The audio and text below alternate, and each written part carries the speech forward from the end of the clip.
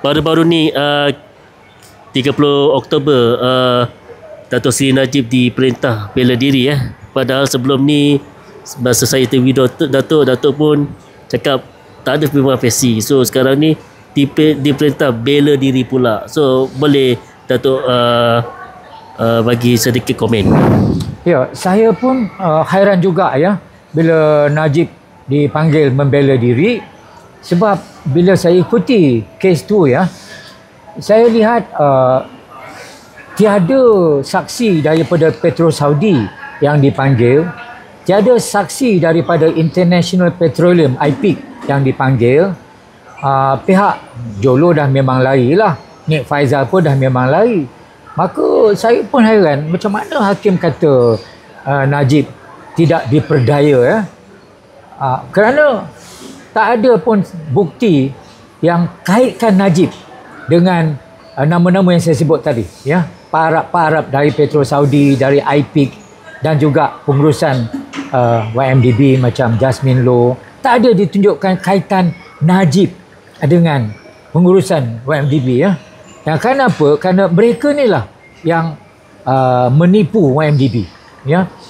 Uh, sebagai contoh Petro Saudi ya membuat joint venture kepada satu usaha sama projek yang uh, tak wujud ya. Itu juga dengan IPIC ya. Uh, pengarah urusan IPIC CEO telah pun didakwa dan didapati bersalah ya. Uh, didapati bersalah melakukan penipuan uh, melibatkan duit YMDB berapa?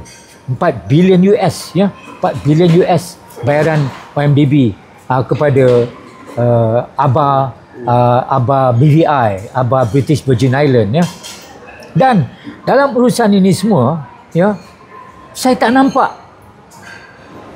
kaitan Najib dengan uh, player-player ni ya. Dan kita lihat uh, semasa uh, kes peringkat pendawaan tak juga ditimbulkan kaitan Najib dengan pihak-pihak ini.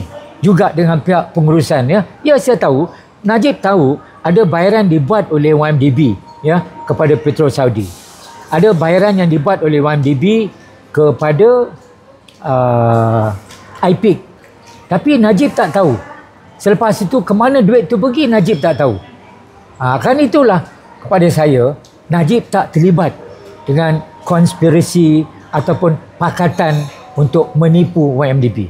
Ha, bagi saya, the main player ialah Jolo. Yang mungkin Nick Faizal samalah. Uh, dan juga pengurusan YMDB. Termasuklah Jasmine Lu. Ya. Uh, maka di mana kaitan Najib? Ha, atas is, isu itulah saya katakan bahawa tak akan wujud uh, kes prima facie ke atas Najib. Ya. Namun, uh, pihak hakim melihat dari angle yang lain. Ya apapun bagi saya lah ini satu alasan yang baik uh, untuk uh, Tan Sri Syafi selaku ketua program bela untuk uh, jika perlu ya memfailkan rayuan. Uh, kepada uh, mahkamah rayuan. Saya dah nampak alasan untuk memfailkan rayuan kepada mahkamah rayuan saya nampak. Saya dah nampak dah ya. Dan saya yakin Tan Sri Syafi pun uh, nampak